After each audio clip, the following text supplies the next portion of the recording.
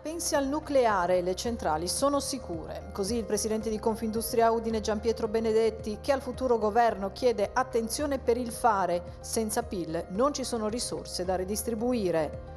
Dopo il decreto del Tribunale del Lavoro Varzi la revoca la procedura di chiusura dello stabilimento triestino ma non esclude di opporsi alla decisione del giudice. Sindacati spaccati sul via libera la consegna ai coreani dei motori bloccati in porto. Dal mancato rispetto delle norme in materia di sicurezza e salute alla presenza di lavoratori completamente in nero, i controlli di carabinieri e guardia di finanza hanno portato alla sospensione di nove attività nelle province di Udine e Pordenone. Un giovane di Cormons è stato soccorso ieri sera sul campo sportivo di Gradisca di Sonzo a seguito di uno scontro di gioco. Il portiere ha subito un colpo violento alla testa e in prognosi riservata all'ospedale di Cattinara.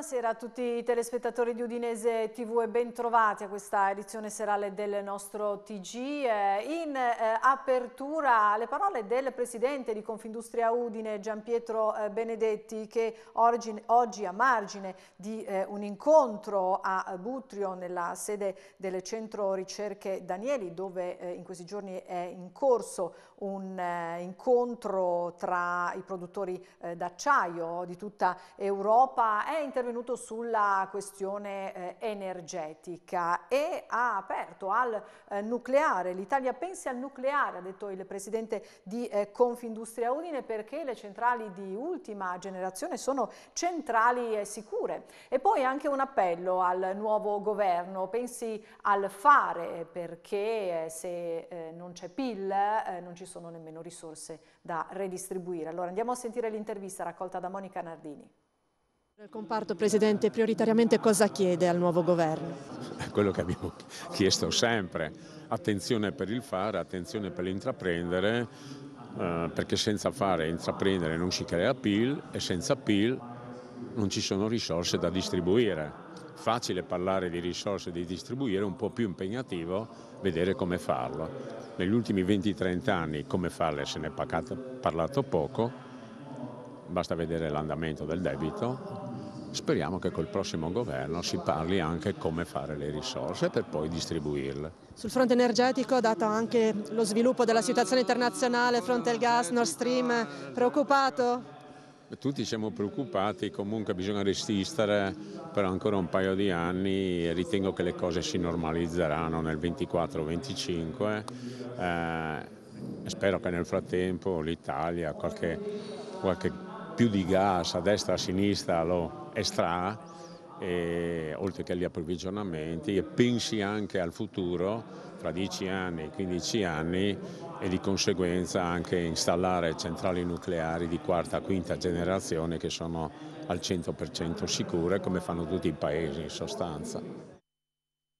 A proposito di PIL, andiamo a vedere la notizia che troviamo in primo piano in questo momento sull'agenzia ANSA. Il PIL più 3,3% nel 2022, rivista al rialzo la stima del documento di economia e finanza. Il Consiglio dei Ministri ha eh, approvato la nota di aggiornamento al eh, DEF e eh, la crescita stimata del PIL nel 2023 rallenterà al più 0,6% per poi risalire al più 1,5% 1,8 nel 2024 e al più 1,5 nel 2025. L'inflazione, secondo la nota, comincerà a scendere entro fine anno. Il deficit scende al 5,1% quest'anno, al 3,4% nel 2023. È un contesto difficile, si legge proprio nel DEF, ma ci sono margini per eh, superare le eh, stime, una previsione improntata comunque al, ad un approccio eh, prudenziale.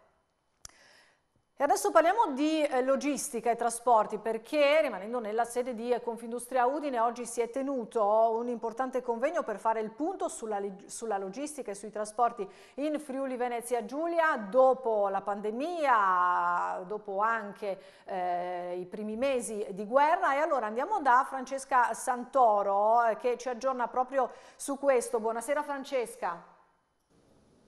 Buonasera Angela, la sede di Confindustria Udine ha ospitato oggi un convegno che è servito a fare il punto della situazione sulla questione logistica, trasporti e intermodalità in seguito alla pandemia e alla guerra.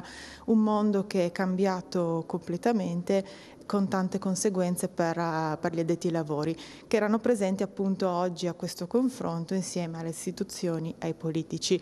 Un convegno organizzato dal COSEF, il Consorzio di Sviluppo Economico del Friuli. Noi abbiamo fatto il punto con il Presidente Claudio Gottardi per capire come è cambiato appunto il mondo della logistica e cosa bisogna ancora fare nella nostra regione per migliorare sul fronte della intermodalità. Vediamo l'intervista e poi linea allo studio.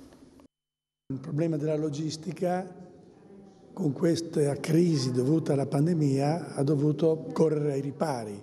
Siamo passati in pratica da un sistema globalizzato dove l'imprenditore cercava soprattutto l'efficienza economica, riducendo le scorte, quindi operando in just in time, come si dice, e cercando i paesi con costi di materie prime e del lavoro più bassi. Tutto questo è andato bene finché il problema della pandemia non ha messo in crisi questa catena di approvvigionamento. Bastato che qualcuno chiudesse le produzioni, lo limitasse, che coloro che assemblavano tutti i componenti che avevano delocalizzato si fermassero.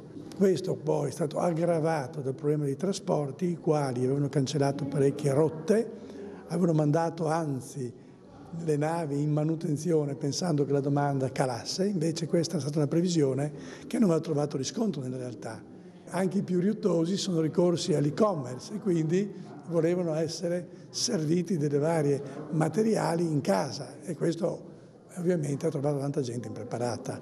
Oggi quindi la ristrutturazione, che non è una deglobalizzazione della logistica, avviene su tre linee portanti. Riavvicinamento e quindi reshoring delle attività produttive, pluralità di fornitori e scorte adeguate in maniera che siano in grado di far fronte in caso di una qualsiasi interruzione che avviene nella catena. Ultimo, ma non ultimo, il problema della digitalizzazione, quindi una logistica 4.0 in cui le connessioni in qualche maniera forniscono i dati necessari e in secondo luogo la ricerca di capitale umano perché per fare la digitalizzazione ci vogliono ingegneri logistici, gente a mente aperta che sappia in qualche maniera aprirsi a nuove frontiere. Sul fronte dell'intermodalità come siamo in Friuli Venezia Giulia? Cosa resta da fare? L'intermodalità che è il segreto per eh, il futuro sia da un punto di vista dell'efficienza dei trasporti ma anche dell'impatto ambientale, bisogna che vengano collegati i porti, gli interporti in maniera tale che questi dialoghino e che le ferrovie vengano potenziate che ancora in Italia non solo come infrastruttura ma come servizio qualche volta è carente. E ci sono delle novità importanti per quanto riguarda il futuro della Varsila di Trieste perché il gruppo eh, ha annunciato di aver revocato ufficialmente la procedura di chiusura dello stabilimento di Sandorligo eh, della Valle. Questo in ottemperanza del decreto del giudice del lavoro che venerdì scorso aveva rilevato un comportamento antisindacale da parte eh, dell'azienda. L'azienda stessa però non ha eh, escluso la eh, possibilità possibilità di un'opposizione al decreto del Tribunale del Lavoro. Allora andiamo a sentire il servizio dei colleghi della redazione di Tele4. Due le novità odierne sul caso Varsila, la revoca ufficiale da parte della multinazionale finlandese della procedura di licenziamento e l'accordo raggiunto tra sindacati ed AEV per il rilascio dei motori. La prima notizia è emersa questa mattina all'udienza davanti al giudice del lavoro Paolo Ancora sul ricorso presentato dalla Regione Friuli Venezia Giulia contro Varsila. Gli avvocati dell'azienda hanno comunicato la revoca ufficiale in ottemperanza al decreto dello stesso magistrato del lavoro che aveva rilevato comportamenti comportamento antisindacale, ma non hanno escluso di fare opposizione al decreto stesso. I legali della Regione hanno chiesto un termine per esaminare se ci sia ancora ragione di proseguire con l'azione giudiziaria. L'udienza è dunque stata rinviata al 5 ottobre alle 12. Eh, la rinuncia al ricorso mm, non è mm, intervenuta al momento, non so se interverrà, però eh, già l'ottemperanza all'ordine del giudice che è una novità per noi, nel senso che noi non, non eravamo, eravamo, informati, eh, è un elemento nuovo che dobbiamo attentamente valutare per verificare se le esigenze cautelari che noi abbiamo azionato con questa procedura sussistono ancora o vengono meno in ragione della revoca della procedura eh, di Varsila. Insomma. Intanto è stato raggiunto in mattinata l'accordo fra i sindacati e i massimi vertici di DSM e EV sul rilascio dei motori prodotti da Varsila a Bagnoli. Tre le condizioni, che i coreani condannino pubblicamente sulla stampa internazionale il comportamento di Varsila nei confronti dei lavoratori, che sostengano direttamente nei rapporti con l'azienda la strategicità del sito di San Dorligo e che imbarchino sulla UHL Fusion esclusivamente i 12 motori di proprietà. Nel canale navigabile già oggi sono dunque cominciate le prime movimentazioni preliminari alle operazioni di carico dei motori che inizieranno domattina. La partenza della nave è prevista tra venerdì e sabato. In una nota diffusa poco fa però UGL Metalmeccanici denuncia la gravità dei fatti di oggi avvenuti nel totale silenzio senza informare i lavoratori notiziandoli a cosa fatta.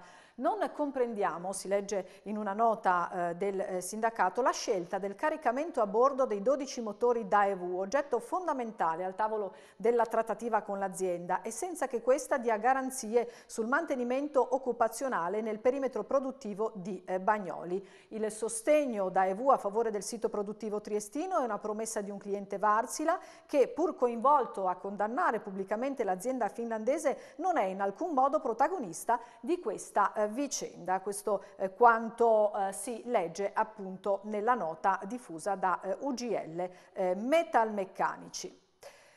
Parliamo di un'altra azienda, un'altra azienda eh, storica, la Savio di Pordenone, che eh, riorganizza l'attività dopo il calo della produzione. Il calo significativo della produzione legato agli andamenti di mercato impone alla Savio di Pordenone, storica azienda nel settore delle macchine tessili, ora in mano alla società belga Van de Ville, di riorganizzare la propria attività. Tavolo d'incontro dunque tra l'azienda e i sindacati, nel corso del quale è emerso il quadro negativo registrato nel primo semestre 2022, che ora chiede un piano di lavoro finalizzato a recuperare quanto perso. Dal 2023 poi si procederà a ridurre la produzione produzione di testine per la Cina, insomma un totale riassetto dell'attività produttiva, al quale si aggiunge l'investimento di 20 milioni di euro per l'automazione del reparto magazzino, un investimento senz'altro positivo, dal quale però non si escludono i risvolti negativi che questo potrebbe avere sul personale operativo, generando una quarantina di esuberi. L'intenzione tuttavia è di assorbire tali eccedenze in altre attività, riportando all'interno dello stabilimento alcune lavorazioni. Il confronto con l'impresa è appena iniziato, fanno sapere dai sindacati. È importante entrare nel merito e analizzare con attenzione impegni e sviluppi progettuali della nuova proprietà. Intanto, continuano i sindacalisti, le vere scommesse sono rivedere l'organizzazione del lavoro e capire anche l'impatto che avranno i due nuovi prodotti che Savio presenterà al mercato nel 2023, con i quali si punta ad alzare la gamma di qualità. Serve un piano industriale con cronoprogramma chiaro e bisogna capire qual è il progetto di recupero nel caso in cui si generino esuberi. Rimaniamo nell'ambito del mondo del lavoro perché una serie di controlli da parte dei eh, carabinieri hanno portato alla luce diverse irregolarità in materia di sicurezza sul lavoro e anche lavoro nero. Tre attività sono state sospese in provincia di eh, Udine. Sentiamo Francesca Santoro. Tre attività sospese e sanzioni per complessivi 60.000 euro. Questo è il bilancio dei controlli effettuati dal Nucleo Ispettorato Carabinieri del Lavoro di Udine con la collaborazione dei militari delle compagnie di Udine, Palmanova e Latisana. L'attività ispettiva, di natura ordinaria e tecnica, è stata volta alla verifica della regolare occupazione dei lavoratori e al rispetto delle norme in materia di sicurezza, salute e igiene sui luoghi di lavoro. 17 lavoratori complessivamente controllati. Per l'esattezza sono scattati 6.100 euro di sanzione con sospensione dell'attività a Cassacco per un negozio e un centro massaggi in cui sono state individuate rispettivamente un'addetta alla vendita e una massaggiatrice che operavano in nero. Attività sospese e multe per 19.500 euro in un altro centro massaggi Malatisana, al cui interno sono emerse violazioni riguardanti i presidi antincendio e i presidi di primo soccorso, nonché l'omessa redazione del documento di valutazione dei rischi. Infine è stata sanzionata con 25.100 euro un'azienda agricola in località Chiopris Viscone, dato che durante le operazioni di raccolta delle mele sono state riscontrate violazioni riguardanti l'omessa redazione del documento di valutazione dei rischi e la sorveglianza sanitaria per i dipendenti. E anche la Guardia di Finanza di Pordenone ha effettuato una serie di controlli proprio per verificare il rispetto di tutte le normative in materia di lavoro. In questo caso sono stati individuati 11 lavoratori in nero, tra cui 4 clandestini, eh, tra lavorazioni agricole, centri estetici, bar, commercio ambulante e pizzerie. In totale sono 6 le attività sospese. Per tutti i particolari anche su queste operazioni della Guardia di Finanza di Pordenone vi rimando all'edizione del nostro eh, TG dedicata proprio alla destra tagliamento. Adesso andiamo avanti con la cronaca perché nella serata di ieri eh, c'è stato un eh, grave eh, infortunio, un grave incidente durante un, eh, un allenamento su un campo di calcio a Gradisca di Sonzo. Un portiere ha subito un grave trauma alla testa. Questa e le altre notizie di cronaca della giornata di oggi nelle nostre flash news. Grave infortunio ieri sera poco dopo le 20 per un calciatore di 20 anni di Cormons. Il giovane, durante un allenamento come portiere nell'impianto dell'Itala San Marco di Via dei Campi a Gradisca di Sonzo, è rimasto coinvolto in uno scontro di gioco procurandosi una piccola frattura alla tempia con relativo versamento. La Sores ha inviato automedica e ambulanza. Dopo che gli operatori sanitari gli hanno praticato il massaggio cardiaco, lo hanno stabilizzato e intubato sul posto, il malcapitato è stato trasportato in gravi condizioni all'ospedale di Cattinara Trieste. Il cacciatore è stato posto in coma farmacologico, sedato e intubato. La prognosi resta riservata, ma da due TAC successive pare che il versamento non sia aumentato. Tre auto sono rimaste coinvolte in un incidente stradale avvenuto attorno alle 9.30 di stamattina sulla tangenziale est in direzione Povoletto in comune di Tavagnacco. Sul posto sono sopraggiunte le forze dell'ordine per i rilievi, oltre agli operatori del 118 che hanno portato i feriti in ospedale. Le persone rimaste coinvolte risultano ferite in modo non grave. In tangenziale sono intervenuti anche i vigili del fuoco del comando di Udine per mettere in sicurezza i mezzi, inevitabili disagi alla circolazione. Il personale del terzo reggimento guastatori dell'esercito è intervenuto a San Pier di Sonzo per la messa in sicurezza dell'area in cui lunedì pomeriggio si è verificata un'esplosione in seguito alla quale è rimasto ferito un 34enne goriziano. Il sopralluogo congiunto con i carabinieri della compagnia di Gradisca di Sonzo ha permesso di escludere ipotesi di reato di matrice terroristica e infortuni sul lavoro.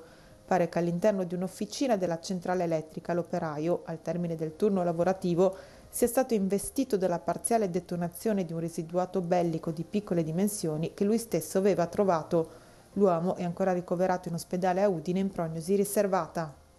Nell'ambito dell'operazione Profumi dell'Est, i militari della Guardia di Finanza di Torino e di Gorizia hanno dato esecuzione a 17 ordinanze di custodia cautelare nei confronti di altrettante persone di origine rom macedone, Cinque sono stati posti agli arresti domiciliari, mentre i restanti 12 sono stati sottoposti all'obbligo di presentazione quotidiana alla polizia giudiziaria.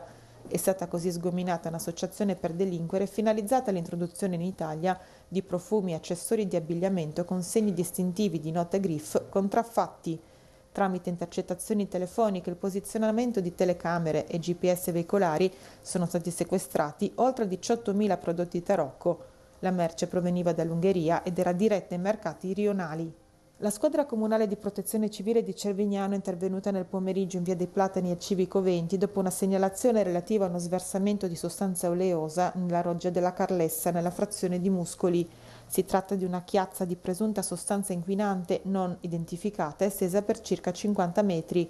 La squadra comunale di protezione civile ha operato in sinergia con ARP e Polizia Locale, allertati anche i vigili del fuoco. Solo poche settimane fa, nello stesso punto, si era verificata una problematica identica.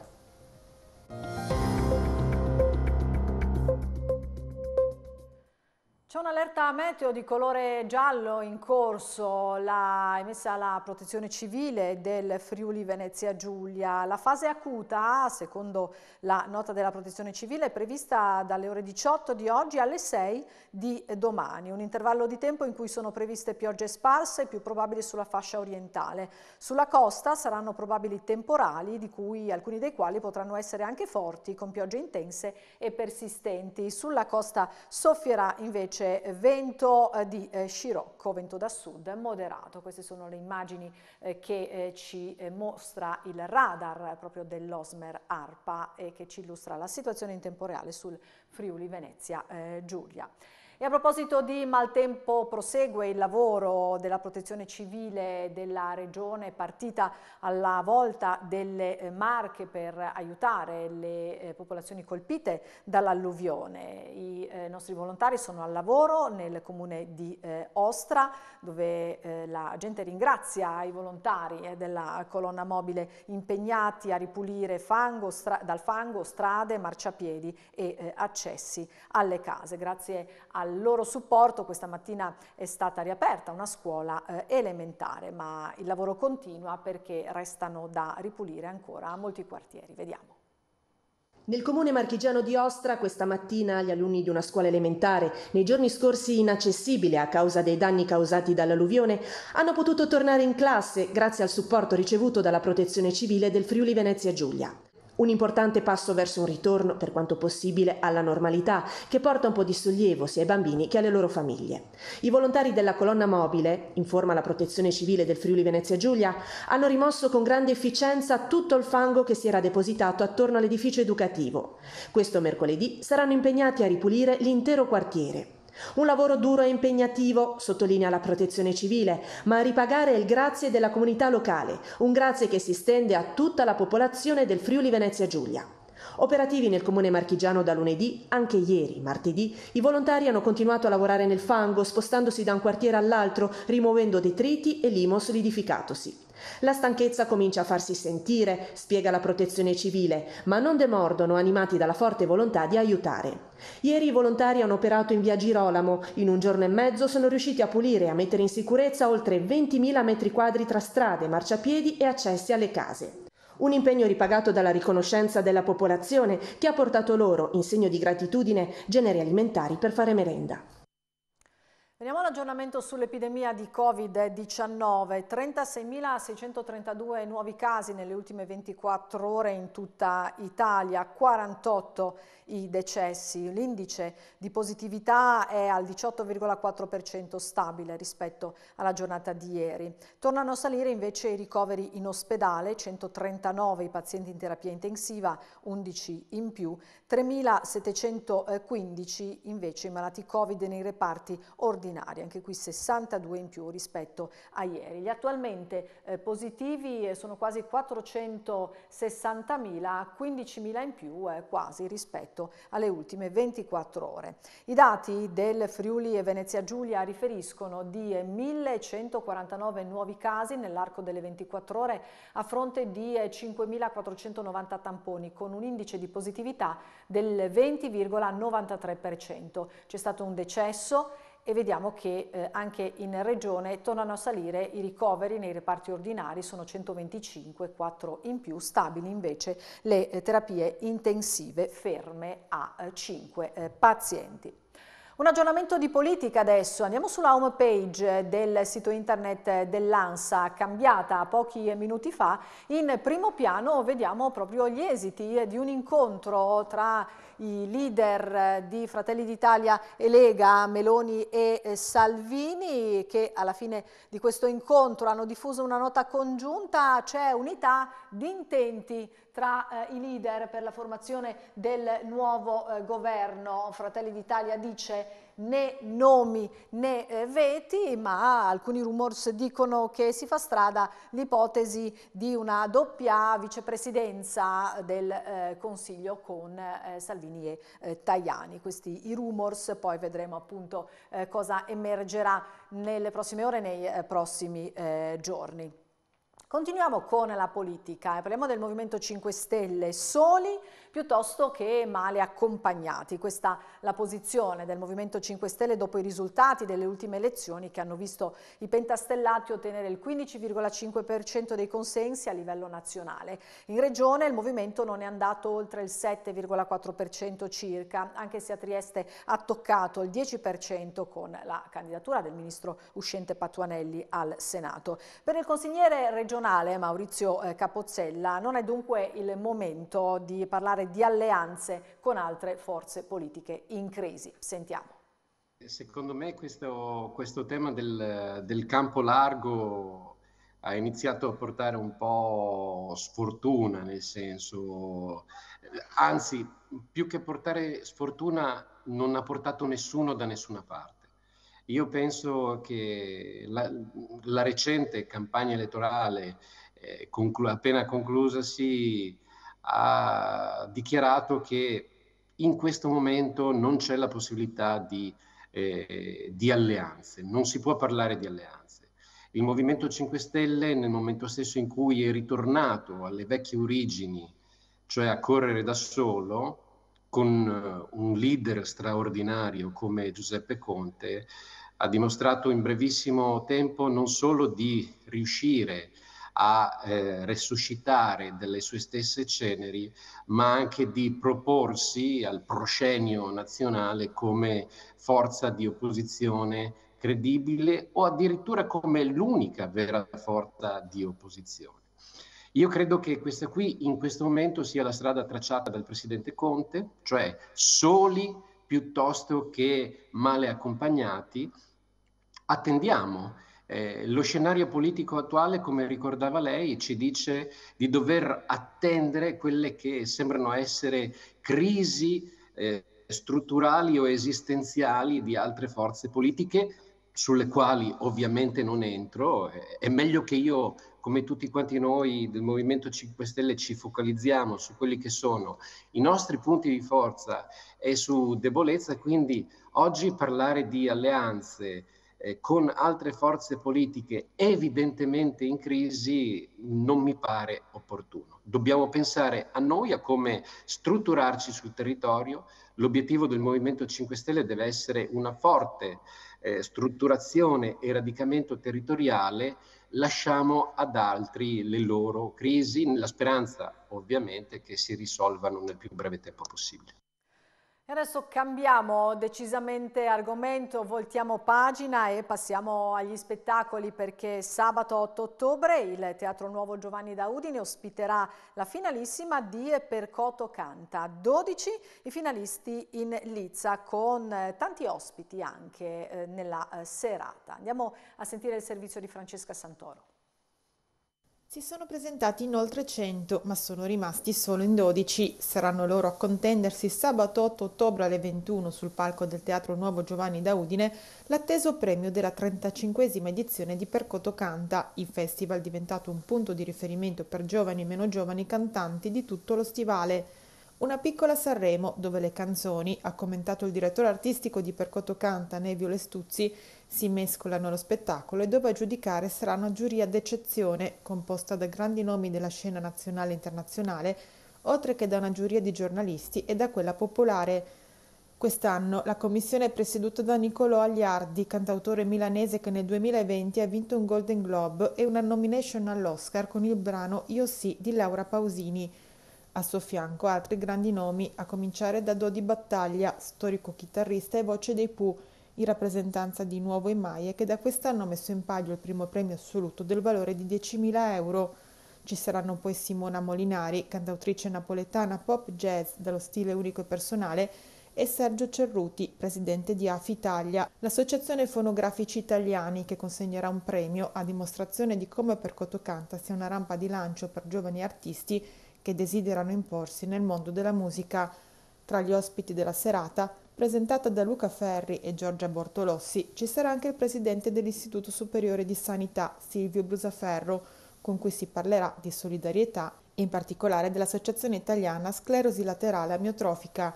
A margine del Conte Scanoro ci sarà il premio internazionale per Cotocanta, assegnato a tre cittadini italiani residenti all'estero, organizzato in collaborazione con l'ente Friuli nel Mondo.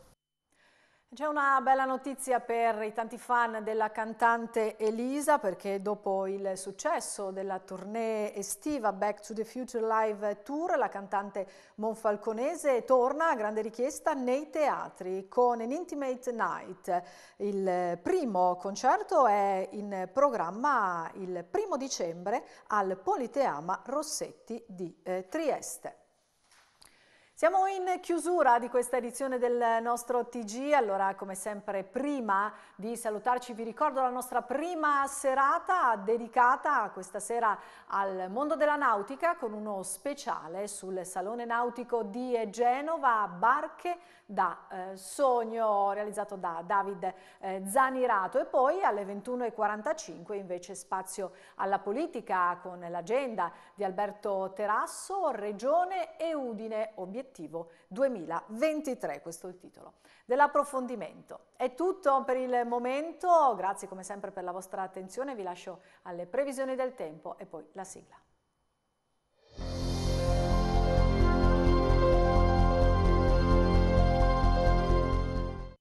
Amici di Udinese TV, ben ritrovati da Fabio Dalio di Trebi Meteo. La situazione nel corso di giovedì continuerà ad essere particolarmente instabile sul Friuli Venezia Giulia, sempre per effetto di un flusso di correnti umide nord-atlantiche che trasportano impulsi instabili con occasione per nuove piogge, acquazzoni e temporali, specie nella seconda parte della giornata. Vediamo più nel dettaglio il tempo sul Friuli, che sarà inizialmente nuvoloso con qualche goccia di pioggia possibile in mattinata, ma sarà soprattutto tra il pomeriggio e la serata che il tempo andrà peggiorando, con lo sviluppo per nuove piogge, acquazzoni e anche qualche temporale. Temperature stazionarie attorno ai 21 gradi di giorno sulle pianure. Passiamo alla Venezia Giulia, qui la situazione vedrà sempre qualche nuvola a inizio giornata con precipitazioni residue della notte, ma poi la tendenza vedrà un peggioramento tra il pomeriggio e la sera con lo sviluppo per nuove piogge temporali su Goriziano ma anche sulla costa. Per tutti i dettagli, come sempre, consultate l'app di Trebi Meteo.